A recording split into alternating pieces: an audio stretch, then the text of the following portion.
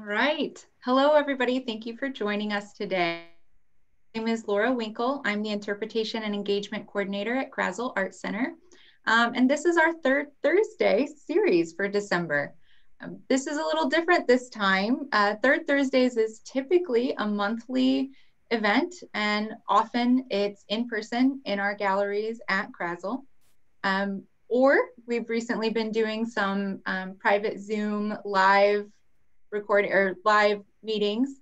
Um, but today we're recording in advance. And the reason we're doing that is because the artists joining us are joining from, um, we're all in three different time zones today. Uh, so we have a special opportunity actually to pre-record this third Thursday um, and share it with all of you. So this is, like I said, it's something that happens every month. You can register for the January and February third Thursdays, um, but everybody gets to see the December third Thursday. I'm joined today um, by uh, Raghvi Bhatia and Tim Belliveau, two artists that are featured in Krasl's current exhibition, Artists as Influencers, Pathways in Glass. This exhibition has been extended through January 24th so that everybody has an opportunity, hopefully, to see it in person. Um, and we're so excited to have these two artists here today and kind of have a dialogue between the two of them.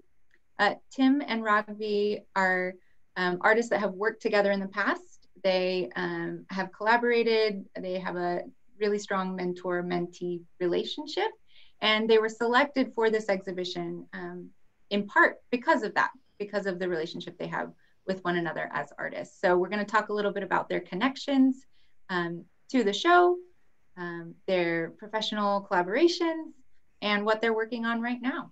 So thank you both for joining us. Thank you. Thanks for having us. Thanks for having us. Yeah. Uh, if you want, go ahead and just do start with some brief introductions. Um, Raghvi, yep. you want to so, start? Um, hi, I'm Raghvi. I am joining you from New Delhi, India. I've been here for the last six months. Before this, I was in New York, and before that, I was pursuing my undergraduate degree in glass at the Rhode Island School of Design. Um, I met Tim for the first time at Pilchuck in 2017 um, when I was much younger. um, but I thought I could just share a few slides of how my work has progressed since then. Um, so in my practice, I'm interested in how contemporary art parallels organized religion. Um, and so I've been working on making a sort of religion of my own. The three deities of this religion are glass, skin, and water. So these are things that show up in my work a lot. Um, and I'm interested in how these three materials interact and inform each other. As part of this religion, I've created a sacred language. Um, I've been working on creating rituals um, traditions and mythologies, but most importantly, I've been focused on creating a new craft. I'm interested in the history of craft and religion and how religion fostered the development of um, a lot of the crafts that we see still existing today. So I'm just gonna take you on a bit of a historical tour. These are the first glass seed beads. They were they were first made in India about 3,000 years ago. Um, and they kind of look like that. So this was basically the first time glass was pulled into tubes and chopped up. Um, so this was 3,000 years ago, and about a thousand years ago, the Europeans figured out a way of making a lot of these really fast. And when they were sort of colonizing the rest of the world, they, these glass seed beads spread to Africa, Asia, and the Americas. Um, what I'm interested in is how seamlessly these beads were adopted by the communities where they kind of were forced into violently. Um, and so in my work, I use a lot of these seed beads, but I'm interested in um, using the glassness of the glass seed beads rather than the beadness of the of the beads. Um, in the art historical canon, there's kind of a huge divide between form and material. So I'm interested in bringing the material of this form that's been so common across the world. This is the work that I have at the show up at Krasl. These are two of the three pieces. Um, the three pieces are called Glass, Skin, and Water based on the three deities. Um, and this is just some of the recent work I've been working on. I was fortunate enough to get a residency at the Corning Museum of Glass a few months ago, right before everything shut down in the world. Um, and this is just a, a bit of my process where I tack down each of the beads individually um, with like Elmer's glue and then fuse them. So it's kind of these like really fragile, um, they're like two millimeters thick or like less than a 16th of an inch thick um, pieces. And yeah, that's my work. So thank you for listening. Thank you. Thanks, Raghvi. Good to see that. Um, so I guess I, I could follow up. Absolutely, that would be great.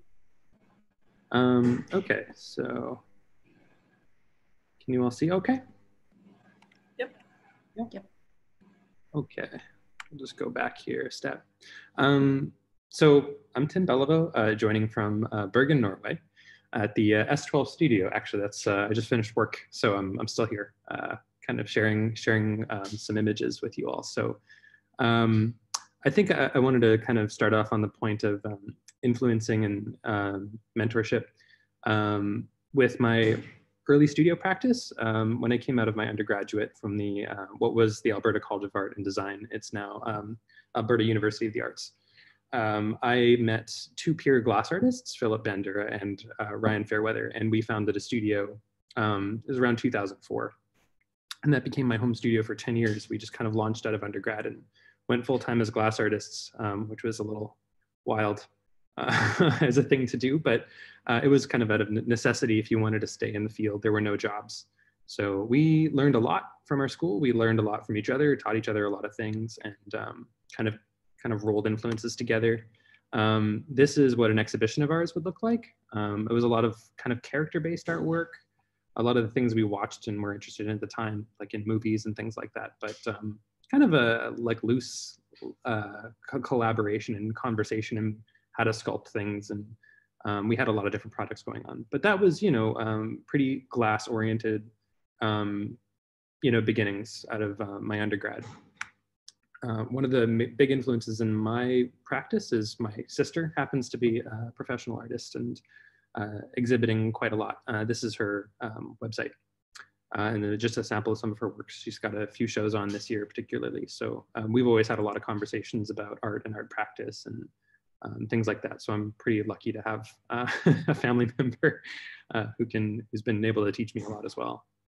Um, when I got into my master's program at Concordia University in Montreal, um, I think I was taking the, the kind of 10 years of glass blowing as a full-time practice and just kind of deconstructing what it was and what it meant and found myself using a lot of digital tools and trying to figure out what role that had. Um, I always find glass, it's such a kind of medieval process and you find yourself like on email organizing how to produce something in the oldest possible way. And so that that conflict of digital and, and handmade was interesting to me. And a lot of the research I started doing was based on that. Um, I 3D printed a metal mold um, to make replicas of this vessel that was really inspired by kind of um, Roman mold blowing, uh, glass blowing history.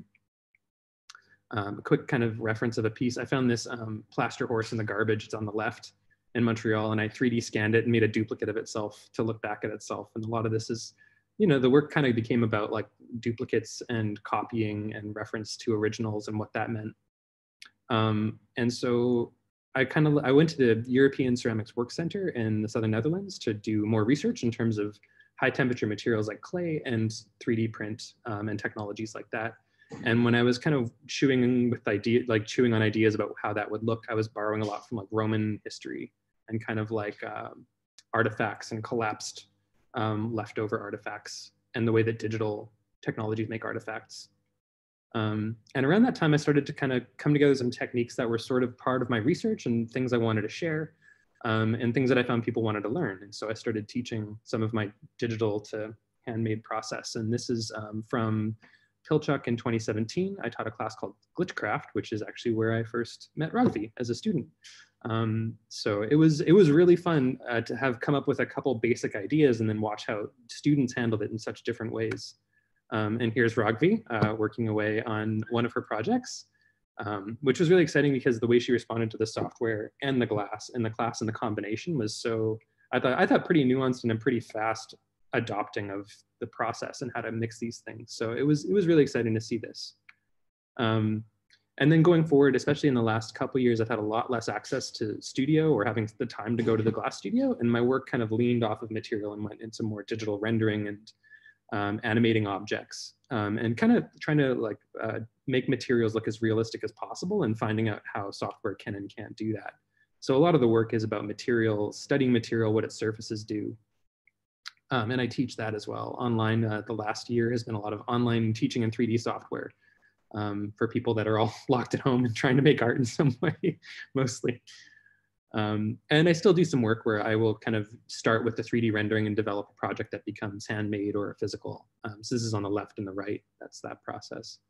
Um, originally for the Krasl, I was going to bring some glass objects as well, um, which uh, the pandemic kind of blocked all of the travel and shipping that I could have done. So um, just a sense of where the glass has gone. Um, it's still, you know, I still make glass, but it's a lot of like material focused and surface and optics kinds of looking at it and how to look, make it look digital or have a conversation with digital objects.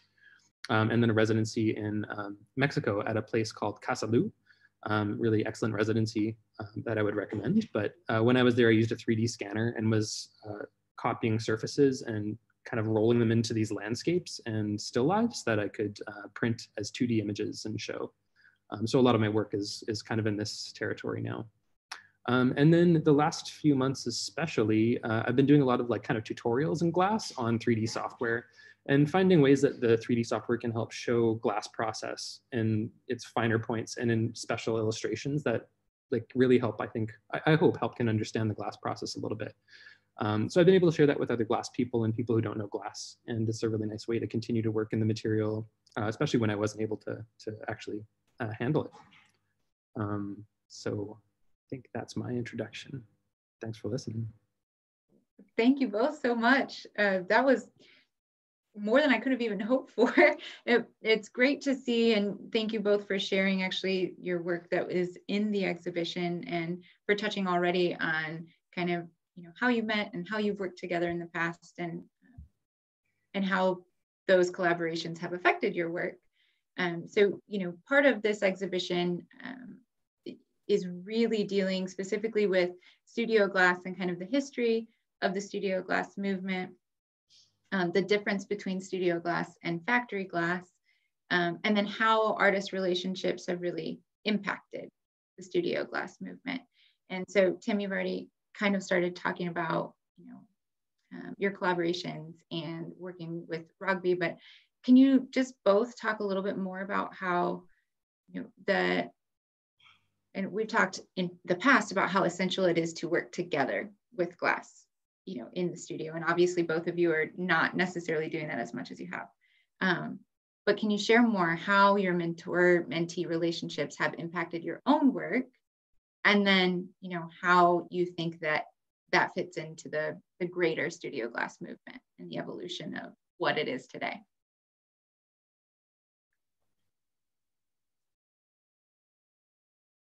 Raghvi, I think you're.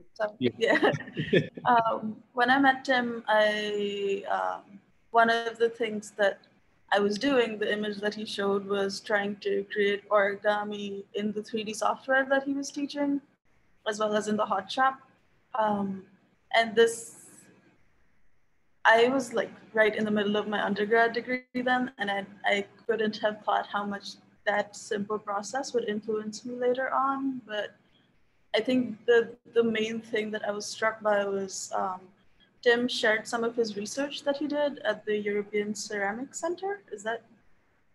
Yeah. Is that right? Um, where he basically was um, researching ceramic blow molds. Um, like at school, you you're always taught like plaster silica blow molds or like plaster blow molds, and that was the first time I saw ceramic blow molds as well as a metal blow mold that Tim had 3D printed. Um, but the ceramic molds were like amazing because you could use them over and over and they maintained like this amazing level of detail, which plaster silica molds never do. Um, and it kind of got me thinking about if something has been done in a material for, for like thousands or hundreds or even tens of years, why is it done in that material and not another material? Um, and that kind of got me interested in material histories, um, I would say, which like greatly informed where I ended up now, uh, working with the glass beads and just thinking about why those tiny beads are made of glass and not plastic, which a lot of people think they're actually made of plastic. But um, yeah. Um, yeah, I can I can jump in there too. I think um, I think I, I owed a, a, debt of gratitude to a few people who helped me with that process too. And I think what I was trying to do is roll together these influences I was getting. Um, I was I, I learned that the molds I was trying to get came like they were done in the Roman era, and that there was this old technology that was so good, and I hadn't been taught it. And I thought, why don't we have that? Like that would be great. And also, you see like 3D clay printers and uh, impressions being taken off of the clay and stuff. And I thought this just seems like it should combine. Um, and then eventually, I found um, David Hill and Mark Taylor, who work in the south of England with a Glass Studio, and they're um, largely doing like art history reconstruction of processes, especially from the Roman era with glass. And they were kind enough to let me come over and work with them for a little bit and understand their process because they're very generous teachers. Um, and they basically showed me every single step that I was having trouble with. My first ceramic molds, I'd blow into it and it would just explode. And I just thought, like, how is this supposed to work with the ceramic and the heat uh, and they knew all the mixes of the ceramics and how to treat them and how to dry them. And so um, I got a lot of really generous help from them and the European Ceramics Work Center um, to kind of like figure out all the gaps and then put these parts together into something that became what was the Glitchcraft course. Yeah. Yeah. Also, I think another thing, like the course was called Glitchcraft, and um, I think something that was kind of already a big part of my education that was kind of like super set in stone in my head at uh, Pilchuck was just embracing the glitches that are like um, not replicable, but also like kind of so specific to the material um, and just embracing them and going with them instead of trying to work against them. Um, yeah. That's something that especially with the like glass seed bead work that I'm doing now is essential to because I'm I've been working with found glass and there's so much stuff that just doesn't go as smoothly as if I was working with like bullseye or something. Um, but it's that's the point. It's working with the glitches. And Raghvi, did you get any specific help in the history of those beads or and understanding that particularly, or did you research it all kind of independently? I researched. Um, I researched it all when I was doing my undergrad at RISD, and then I got, I researched it all, and then I kind of drew a bunch of conclusions, um, which are fully research supported. Uh, but I got a bunch of help from the curator of ancient glass at Corning, um, who knew so much and sent me links to so many articles, which doesn't disprove the theories that I came up with, um, but yeah, so it I got a bunch of help, um, just kind of with more in-depth uh, research into glass seed beads. But I, um, I, I, I was actually traveling to the place where the first glass seed beads were made. They're in southern India, and I happened to go to the bead museum, and I happened to like see the first glass first these like weird looking beads. Um, and then, yeah, that's just kind of where this whole, this whole journey began. Yeah, I, I think, think it, oh, oh, go ahead, Tim. Um, I was gonna I was gonna kind of speak to you mentioned before about glitches and and kind of things not being entirely the way you intended. Um, and I think like I'm more recently discovering like the value of getting it wrong and why that's really helpful. Uh, and the glitchcraft idea was like, I just found like 3, d software is so frustrating and it can backfire and fail so badly that if you don't love the process, you're going to hate the whole thing. Like it takes a lot of patience. Um, yeah. The same was true with me learning the ceramics and the combination of all these things. And um, I think for a second, I thought I was trying to get like perfect understanding of how these materials work together. And then if I ever got it right, it was super boring. And so um, I think I've, I've learned to kind of like the glitch crafting is about just like the process being kind of more interesting for me now, especially. And also making things work with what you have. And like in terms of research, if you have access to the thing, that's great. If nobody can tell you what the history is and you get it wrong, usually something interesting can come out of that. yeah, like I, I made up this whole story in my head that the first beads were the first beads were made in southern India, but I made up this whole story that they like went to Europe and it was like this whole route that I'd planned out in my mind, which again still hasn't been disproven. and some of the beads from southern India were found in Europe. Mm-hmm. Um, so it like makes sense, but it's kind of taking that leap of faith. Um, and even like working with the glitches that exist in research because this stuff happened thousands of years ago and there's unless the researcher is really interested i think it's like as an artist you have the flexibility of kind of creating your own narratives which i i do a lot of but um it, it's this weird like fictional or virtual versus real thing yeah that's I, i'm glad you talked about that because I was curious, you know, a lot of what you were talking about in your, you know, working with other artists uh, was sounds fairly technical, right? You're learning skills and that's a huge that has impacted your work, but I'm curious too how it has in, impacted kind of your concepts of your work, right? Um, and it sounds a little bit like, you know, the parallel between research, which again feels kind of technical or scientific in a in a way, um, but then the the leaps of faith or the you know the getting to make your own narrative that is somewhat conceptual that seems like it's a part of um, you know your artist statement i guess i would say. So will you share just a little bit um, more both of you you know what is your work about? You know what what have you been thinking about? Um, Raghvi, you talked a little bit about you know the connection to organized religion. Um, but are there other things you've been exploring, you know, conceptually? Uh, I, um, I've been using the creation of a religion kind of as a framework for my practice, which is why there's a lot of room to like create fictional stuff or virtual stuff or just stuff that like narratives or mythologies that don't exist yet. Um, so I have been working on creating like this language the whole religion is rooted in material practices. So the language that I'm working on is actually um, based off of uh, Moroccan craft. I was in Morocco for a month or so, and I was exposed to this like craft where they take like fired ceramic tiles and chip them to make these geometrically precise shapes. And when I was there, I found out each shape has a name, um, and they're like super poetic. Um, I can. Yeah, I think I your website shows it really, really well. Uh, but yes, I've been working on translating those names, and I've had a fair amount of help from the Moroccan government. Um, and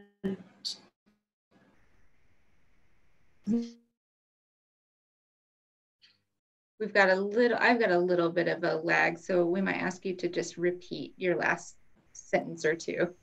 Yeah, sorry. Um, it's I've been using the names of the tiles.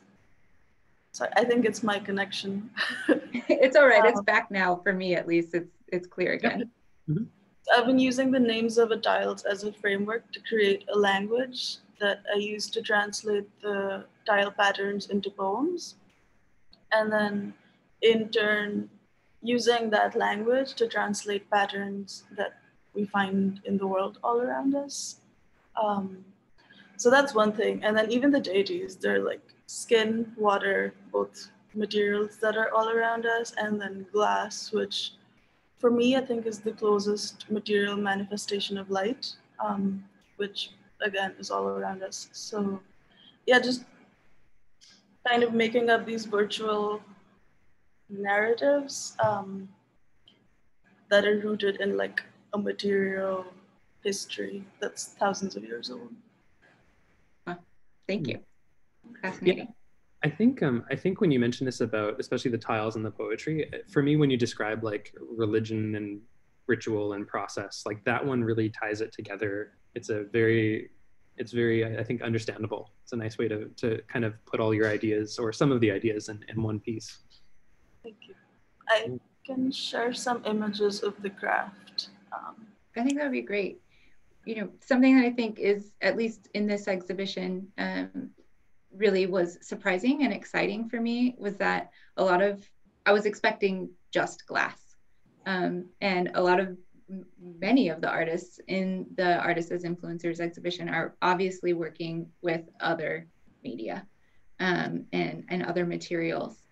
Um, and so it's really neat to see um, how you incorporate them. And I'm curious, you know, what came first for you? Were you, I mean, you both shared a little bit of your story or your path to glass. Um, and obviously, Tim, it seems like your sister maybe also impacted some of the other um, mediums that you use. But how do they how do they connect? Do you have a favorite? Um, do you only see them as they relate to one another?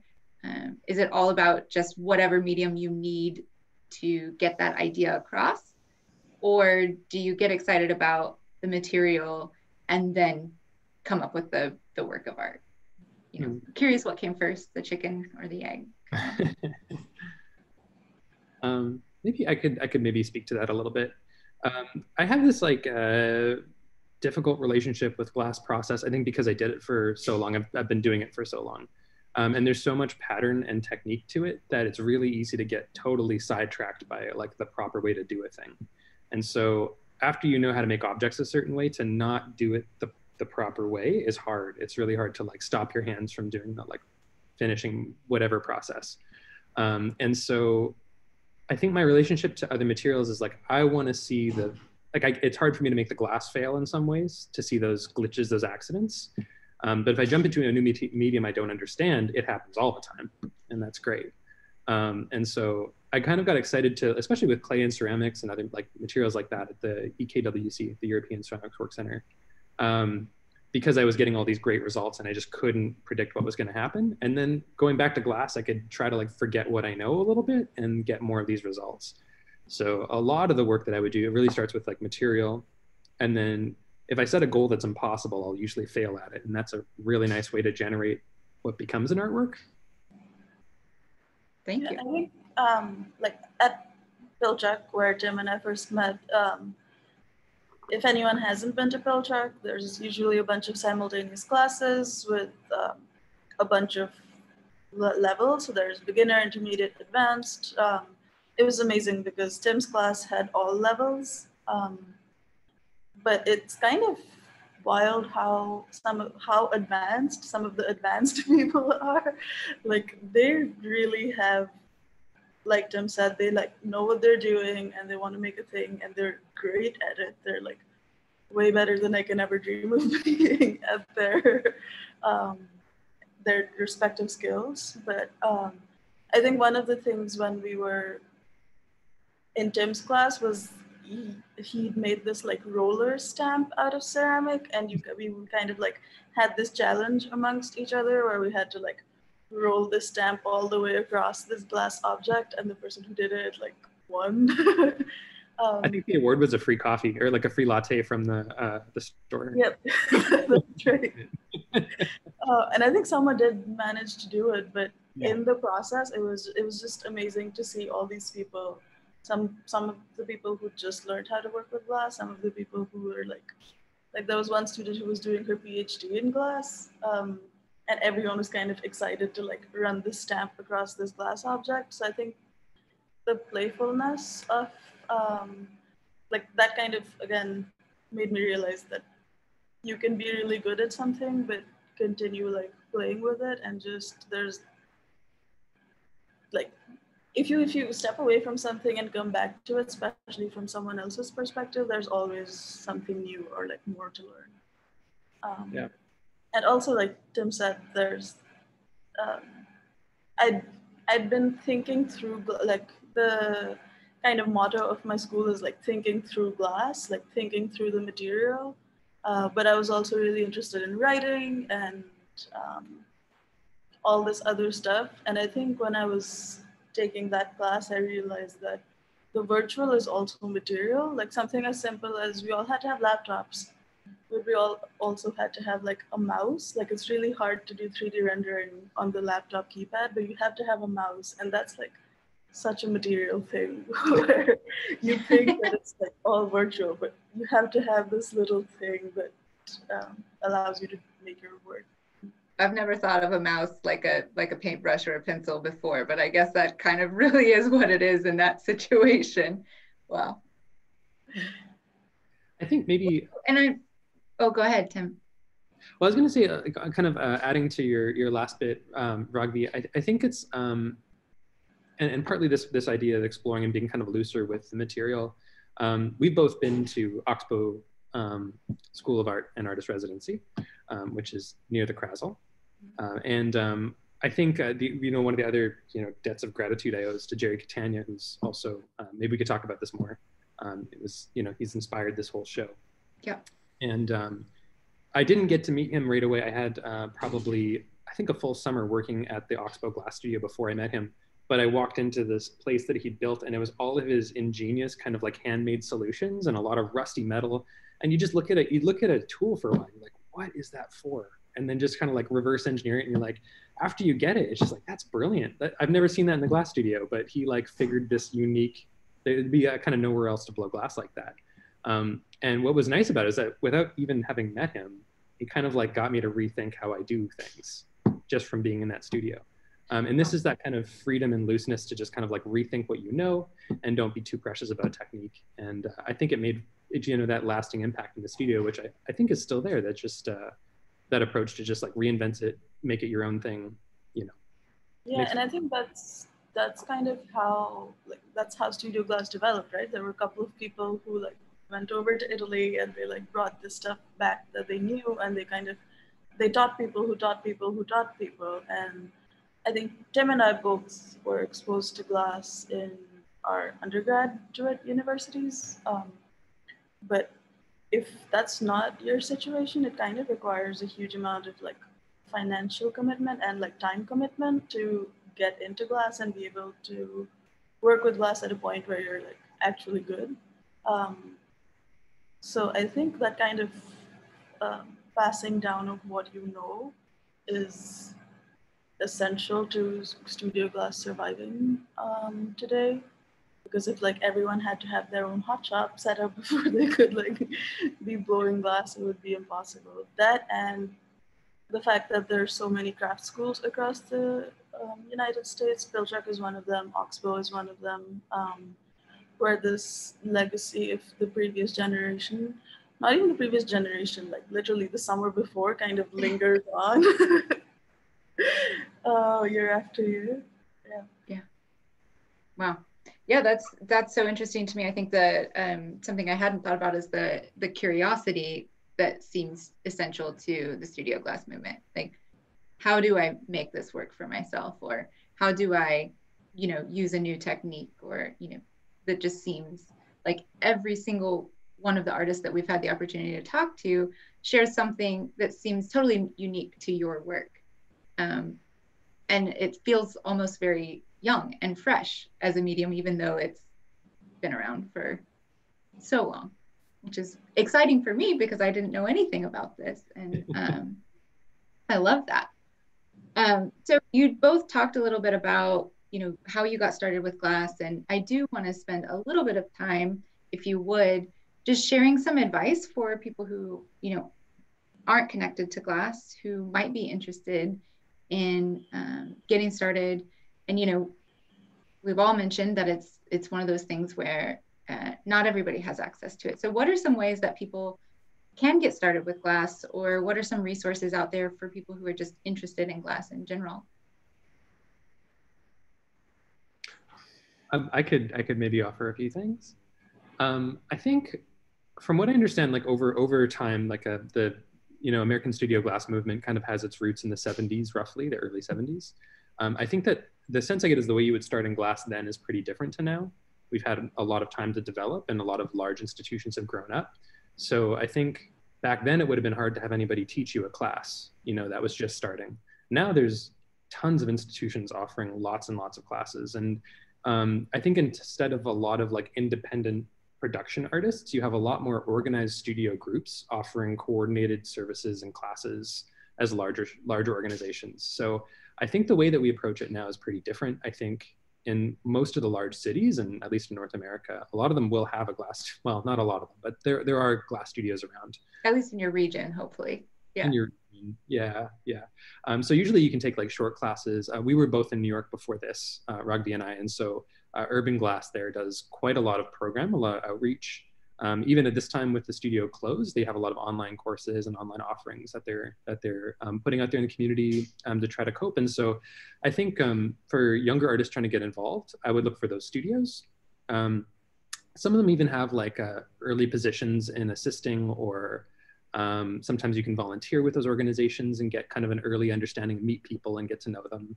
Um, and then definitely apply for scholarships. All the uh, craft schools that Raghvi was talking about and, and many more of them, um, they will have um, teaching assistance opportunities and scholarship opportunities. Um, and I think if you apply to a bunch, your odds are good. Um, I would hope so. We're always trying to fundraise for these things to happen. Um, so I think within the glass community, I think we're seeing a lot of people who recognize what a benefit it's been to them and are trying to create more opportunities for the next generation. And I think there's more scholarships and classes around, you know, now than even 10 years ago. I think that's a fair, fair assumption. So, um, yeah. Also, I think um, people have gotten a lot more generous um, than, say, even in the 70s, even though there was that whole mentor-mentee relationship. But for someone like Tim to spend all this time researching um, this technique of making ceramic blow molds and like going through a bunch of iterations and glitches and then being willing to share it with a bunch of people he just met.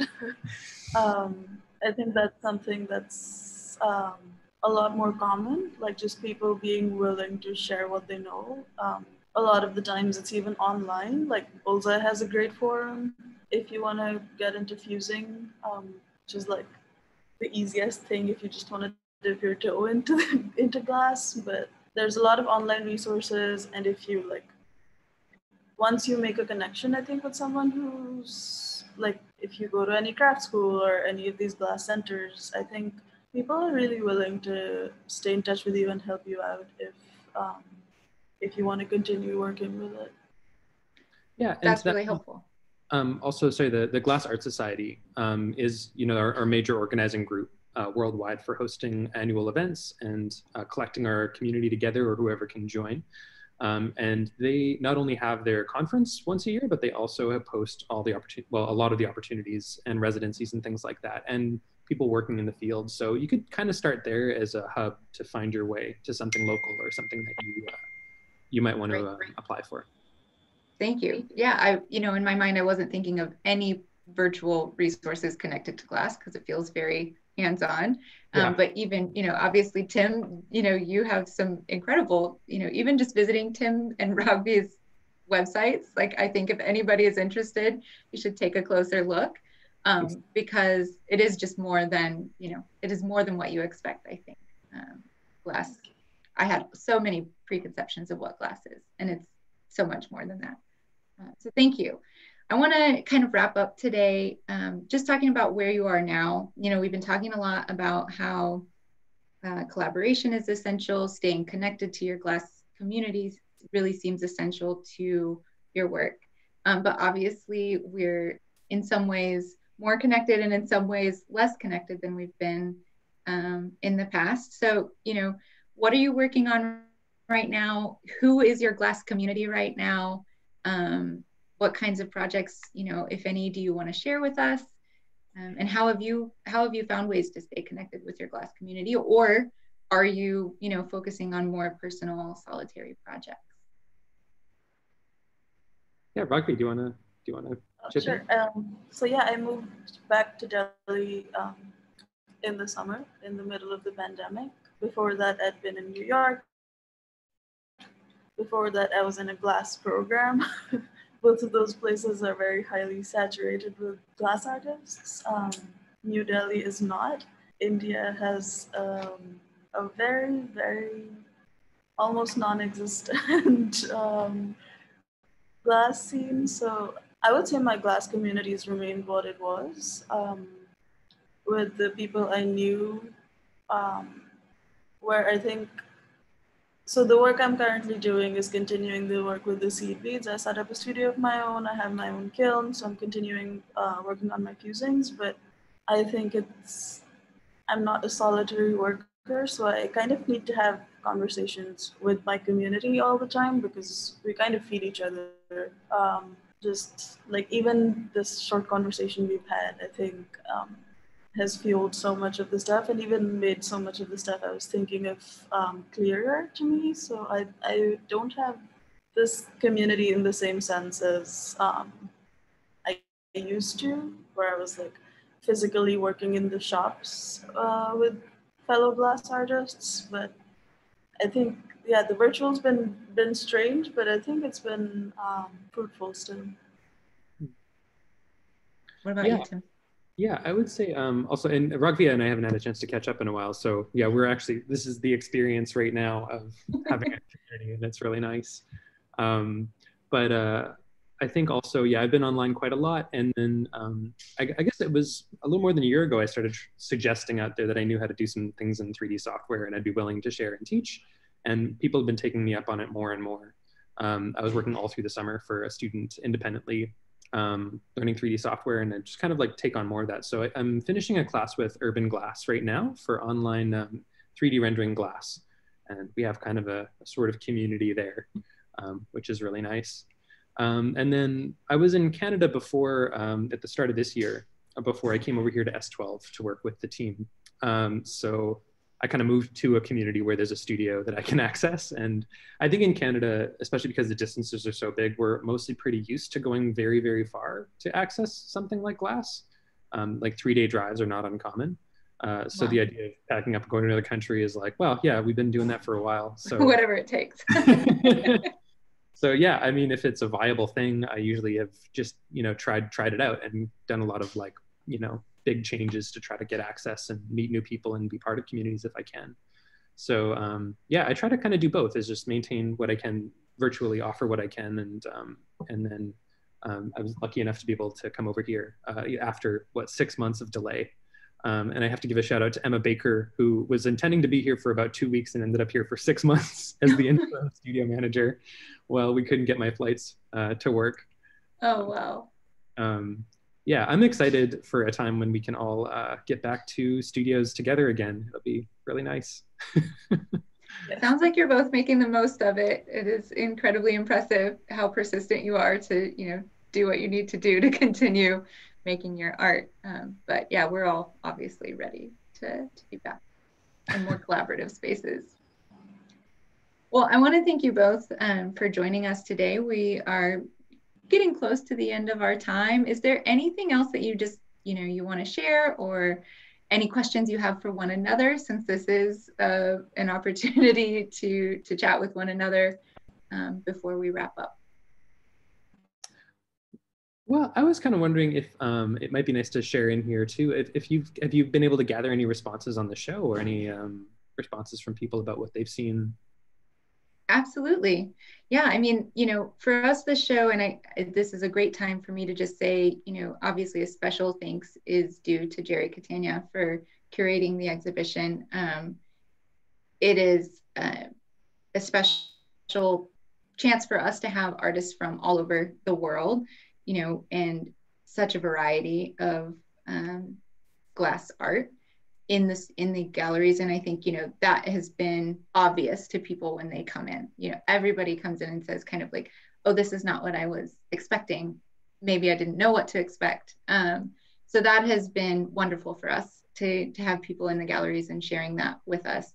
Obviously it's also just very special for people to see um, jerry's work. You know we do have some um, artworks by jerry in the exhibition and a lot of people you know come just to do that, just to see that. And then there, you know, the um, the span of work again from Jerry to all of these new artists um, for our you know new for our community so that's been wonderful for us and people are are really enjoying that and, and commenting um, on those things especially and I hope that we continue. I mean, you know, I hope we continue to have more people in the galleries to to see it now that we've extended the exhibition as well.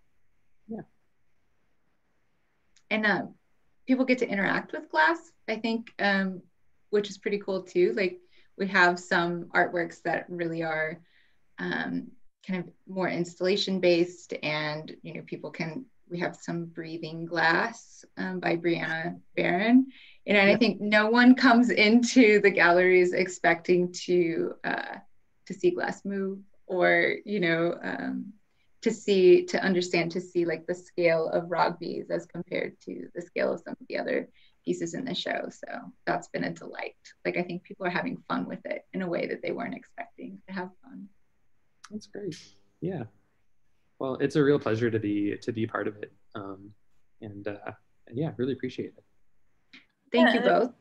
Yeah, and thanks to Tim for um, introducing me to the Krasl and all of you uh, wonderful people there. we really appreciate both of your your um, artworks. Thank you for your involvement in the exhibition. Thank you for joining us today. Um, everybody who's watching, you can see uh, the work of Tim Belliveau and Raghvi Bhatia in Krasl's galleries by appointment. So we encourage you to make an appointment and come in and see the show. It's up through January 24th. Um, also, like I said earlier, please do visit their websites and, and see more. Um, you can see some, you know, we have a really cool uh, 3D video by Tim in the galleries, but also you can see um, act, that glass work, some of the glass work that um, we did not have an opportunity to exhibit. Um, and then also, obviously, a lot of the work that Raghvi was talking about specifically, I think you should look at the, the poetry, the I don't know, ceramic poetry. I don't know what you're calling it, but um, the examples that she shared, it's wonderful to get to look at that um, on your own time too. Um, as I mentioned before, this is a monthly series. So please take a look at krasl.org. You're welcome to sign up for the January and February sessions. Um, and we hope you guys have a great evening, which is what time it will be when everybody watches. Thank you again both for joining. I really appreciate it. Good to see you guys. Thanks. Yeah, thanks for having us virtually.